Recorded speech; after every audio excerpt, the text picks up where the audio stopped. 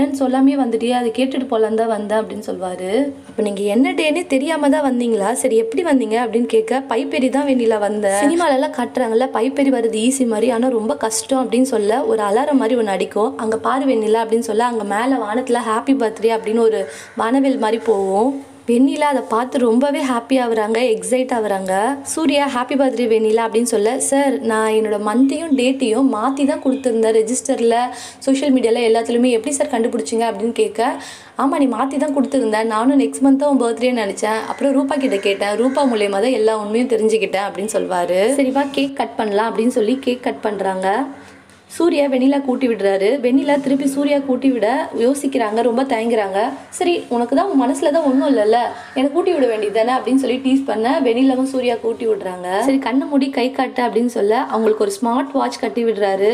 Sir ரொம்ப நல்லா இருக்கு சார் தேங்க்ஸ் சார் சொல்றாங்க. சார் நீங்க ஒரு ப்ரொஃபஸர் சார் நீங்க ஏன் சார் இதெல்லாம் எனக்காக பண்ணிட்டு இருக்கீங்க அப்படின்னு கேட்க இங்க நீ ஒரு பொண்ணு நான் ஒரு பையன். உன்னோட உன்னோட உன்னோட அப்படின்னு இழுத்துட்டே இருப்பாரு. கடைசியா உன்னோட பெஸ்ட் ஃப்ரெண்ட் அப்படின்னு சொல்வாரு. சரி போகும்போது பைப் ஏரியில போக வேணாம். நானே உங்களை மெயின் டோர் வழியா கூட்டிட்டு போறேன். வாங்க யாரும் இருக்க மாட்டாங்கன்னு சொல்லி சூர்யாவை வெண்ணிலா வெளியே கூட்டிட்டு போய் விடுவாங்க. இதெல்லாம் மாதவன் பின்னாடி இருந்து பார்த்துட்டு இருப்பாரு. அப்புறம் வெண்ணிலா போய் தூங்க போயிடுவாங்க. வெண்ணிலா நல்லா தூங்கிடுறாங்க.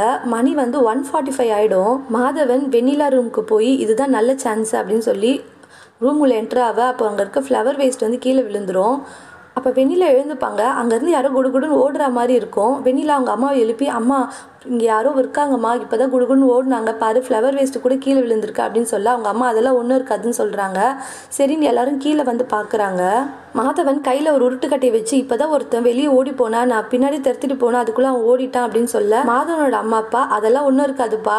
இன்னைக்கு மீன் மசாலா மாதிரி வாழைக்காய் வருத்தீங்கல்ல அதனால தான் பூனை இருக்கும். பக்கத்து வீட்டில் மூணு பூனைங்க இருக்குது அப்படின்னு சொல்லுவாங்க. சரி அதெல்லாம் ஒன்றும் இல்லை. எல்லாரும் போய் படுங்கன்னு சொல்லி அனுப்பிடுறாங்க.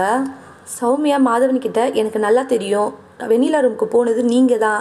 ஏன்னா வெண்ணிலா கத்துறப்ப நீங்கள் என் பக்கத்தில் இல்லை நான் பார்த்தேன். நீங்கள் கொஞ்சம் கூட மாறவே இல்லை. நீங்கள் நல்லா நடிக்கிறீங்க.